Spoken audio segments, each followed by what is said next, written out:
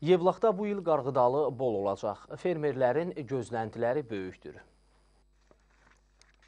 Yevlaxlı fermerlər qarğıdalı yığımına hazırlaşırlar. Qaramanlı kənd inzibati ərazi dairəsi üzrə icra nümayəndəsi Hümbət Orucovun sözlərinə görə bu il fermerlər yüksək məhsul gözləyirlər. adi qaydada ketmanlanma gedir, kultivasiya çəkilir, gübrə verilir. Yaxşı məhsul burada gözlənilir. Bundan başqa bir 2 nəfər də əlavə əkiblər. Hümbət Orucov bildirir ki, kənd ərazisində subartezian qurğularının quraşdırılması əvvəlki illərdən fərqli olaraq fermerlərin qarğıdalıya olan marağını artırıb. Təkcə Qaramanlı kəndində bu il üçün 1 hektar sahədə qarğıdalı əkilib. Sahənin əkilməsi zamanı Amerika Birləşmiş Ştatları istehsalı olan toxumdan istifadə edilib. Fermerlərin sözlərinə görə bu toxum digərlərindən fərqli olaraq suya daha çox meyillidir. Deyirlər məhsuldar sort. Düzdür, hələ yığım başlanmayıbdı. Ona görə də dəqiq bir söz deyə bilmərəm, amma deyilənə görə məhsuldar sortdur.